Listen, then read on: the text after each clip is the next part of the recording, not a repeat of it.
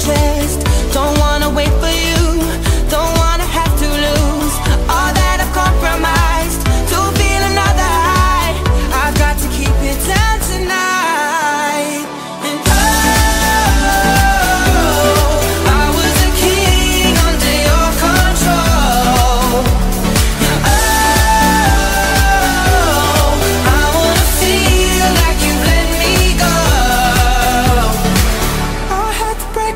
to carry on.